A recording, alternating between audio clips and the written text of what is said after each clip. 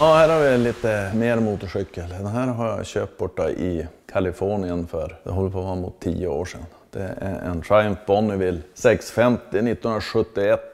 Eh, jag tror mig kunna säga att det var sista året som man hade 650 kubikarna. Den här har gått hemskt lite och eh, den här verkar också ha varit i kull. Det kan man se på avgassystemen och det är väl kanske därför som den har gått hemskt lite. Jag registrerade den i alla fall, jag tog hem den här till Sverige. Körde med den och konstant trasiga lampor. Vibrerar någonting alldeles fruktansvärt. Och sen var det så att eh, en av mina söner han bestämde sig för att det här var ju det fränaste. Den här skulle han ta över. Han hade inget körkort så han skulle som han började skruva med den här och så ska han ta det där körkortet. Och så en dag så såg jag att eh, grejerna låg som här bara runt den här maskinen och ingenting hände. Så jag frågade honom vad, vad är det som har hänt? Ja, då hade han fått jordens baksmälla. Han skulle kicka igång den så han förstörde någon ledband i knät så att eh, det blev varken motorcykelkörkort eller någon fart på den här i hans nyttjande. Så jag hängde upp den här rackaren på väggen och tänkte färdigt med knän. Bara för med så ondska. Många av de här grejerna för med sig lite ondska. Jag har en där inne som eh, du hade med sist. Den är en konstant ondskemaskin. Han bara jävlas. Du har fått hit något sånt där medium som styr bort det. Ja, jag tror att det skulle behövas faktiskt. Har du några tips? Jajamän. Det låter bra. Det är något fanskap med den alltså. Allvarligt. Den här har jag ägt i en, ja, det är väl snart tio år också. Hur fin som helst på alla sätt och vis. Men i min ägo verkar det inte gå att få till. Det är alltid någonting som spökar med. Nu har vi bytt motor igen och håller, jag har säkert lagt 200 timmar på att få till driften, så att säga, gången. Men det är det ena efter det andra. Så nu, nu går motorn bra, men han är svårkörd så förbaskat. Så då jag har fått den här i något form av skick, då ska vi se om han inte ska få en ny ägare. Han kanske inte trivs bland sina polare här. Ja, någonting är det som han inte trivs med. Det är kanske mina ord. Och sen har vi en slutrad här. Sen har vi en liten slutrad. Eh, här kommer lite grann det jag sa om det här med synda på Husqvarna. Eh, det här binder ihop lite grann av mitt intresse. Jag gillar ju Syndap. Det var ju som min första moped. Inte min första moped, men den jag fick av mina föräldrar när jag var 15 i alla fall. Men du, den här är ju ruskigt fräsch alltså. Ruskigt fräscht och skapligt ovanlig. Just den här höga tanken som Syndab hade då 68 och 69. Eh, både på mopparna och som det där är en, en lätt motorcykel, en KS100. Är den totalrenoverad den här? då? Ja, den där är renoverad av en kille borta i Jämtland. Den är inte helt original, men det mesta är så nära original som man kan komma. Just lite bultar och sånt där som är moderniserat och rostfritt istället för det, det gamla. Då. Men eh, ruggigt vacker. Men är du ute och kör någonting med de här? Eller? Jo då, för tusan. Lite grann. Den där den är alldeles nyss eh, registreringsbesiktad så jag har inte ens hunnit sätta skylten på den. Jag fick den igår. Men jag har testat den lite grann här på byavägen och det går jättefint. Och eh, sådana här såg man ju då man växte upp och vad ska jag säga, det fanns någon form av ha-begär som slocknade då under bilvägen men som har växt igen. Och det dyker upp några sådana här lite nu och då både på Tradera och på Blocket och Facebook-sajter och sånt. Och, och det här är ju är tuffa grejer verkligen. Det var en KS 125 alltså? Ja, det var en KS 125 från 1972. Den här köpte jag för några år sedan nere i Kalmar. Också skapligt nära original, sitt fel styre på han. Men i övrigt så ser han ut som de gjorde. Också riktigt vacker. Jag tror inte han är lika våldsamt hårt renoverad som den, den första du tittar på. Utan här har han haft ett ganska snällt liv också. Sen har vi något betydligt äldre bredvid här. Ja, sen kommer vi på Husqvarna-sidan här. Det här är en från 1933, en 250 sidventilsmotor. Eh, De här är fränare att se på än att köra. Det är ju handväxel och kräver sin man. Man sitter lågt som tusan. Men det är ju ett mästerverk i utseende verkligen tycker jag. Och ser man väskan och sadeln där bak så man kunde tro att Seb McKayen körde omkring på den. Ja, alltså om man tänker på den som ska åka i förhållande till den som kör. Så huvudet måste ju vara ovanför den som kör. Ja, jag tänkte lite annars i alla fall. Sen har vi lite mer offroad-känsla bredvid här. Jajamän. 250 igen, Husqvarna Cross. Renoverad av en kille här i Umeå, Mats Edin. Men den här stod på Skotermuseet förut va? Den stod på Skotermuseet förut. ja. De här håller du hårt i, det här blir inga säljsobjekt. Nej.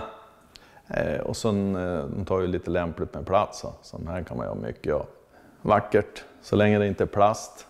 Jag vet inte om man börjar på komma långt in, slutet på 70, början på 80 så blev det ju plasttank och då liksom där slutar mitt intresse på något vis för dem. Och jag är inte så hipp på att köra dem utan är mer på, på att se på dem. Brukar du ut och gasa någonting med de här då? Nej, den där har aldrig ens startat. Jag tror inte ens Mats har gjort det efter att han renoverade den. Så den är, den är helt torr.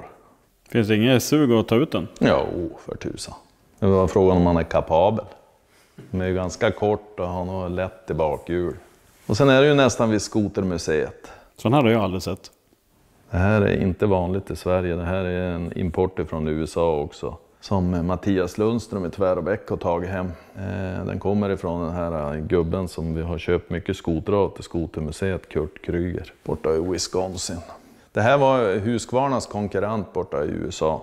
Och de har ju Rotax-motorer och jag läste någon story eh, om någon österrikisk kille som for över till USA och gjorde succé då på att bygga och konstruera crossmaskiner. Och han blev eh, kontaktad av Bombardier då, för de hade en skock motorer över. Så han fick jobba med lite äldre motorer då och skapa en ny plattform för eh, Bombardier att sälja produkter. Med risk för att bli felciterad. Vet du hur många som tillverkades?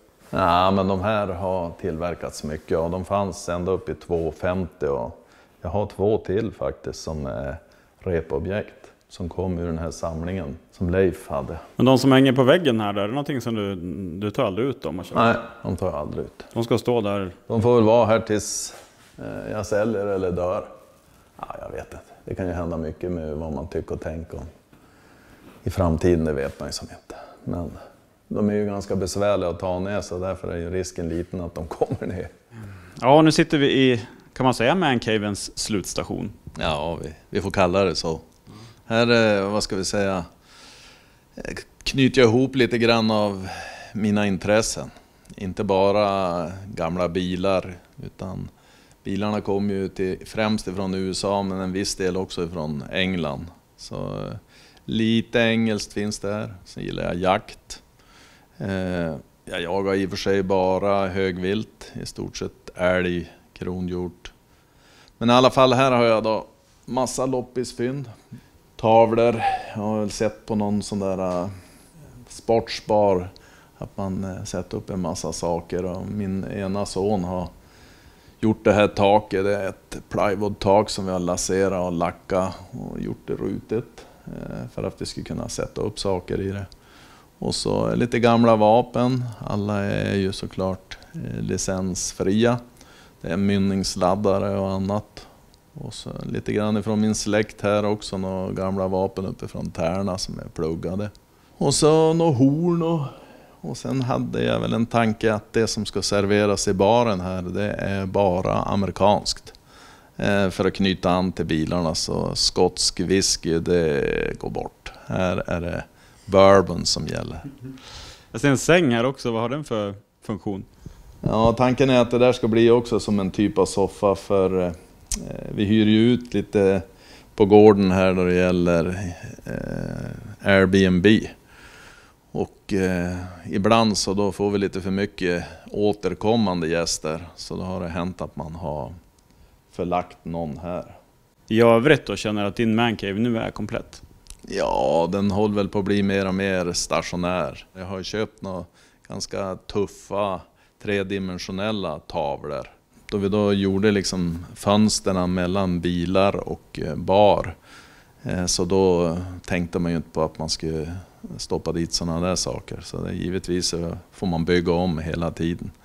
Eh, sen hittar man ju grejer då som kanske inte passar på den plats som finns kvar utan man får börja på att flytta om. Och ganska nyss så bytte vi tapeter på väggarna här och därför så ser det ju helt annorlunda ut idag mot vad det gjorde för ett år sedan. Och mycket av loppisfynderna de får gå baks till loppis igen och så hittar man någonting som man tycker ser lite fränare ut så. Det, är det som är roligt för en själv det är ju att det lever, att man, ungefär som i Skotermuseet, att man bygger om det varje år lite grann i alla fall. Så att det inte allt blir, eh, vad ska vi säga, statiskt. Och sen, eh, vad ska vi säga, nyttjandegraden på en sån här lokal, den är ju fruktansvärt låg alltså. Det är verkligen tragiskt egentligen. Ja, varför spenderar man så mycket pengar och sen är man knappt här? Ja, jävla bra fråga. Man har väl någon dröm att man ska vara här. Eh, och sen så, det verkliga livet är, är någonting annat som... Eh, man gör det man behöver om dagarna och det kanske inte finns så mycket tid över till att gå och sätta sig här. Den tiden kanske kom, man får väl tro det i alla fall. Ja, för jag tänkte, livet är ju inte oändligt heller, det gäller inte att vänta för länge. Nej, nej så är det ju. Men eh, när är det dags? Ja, det vet i fasen.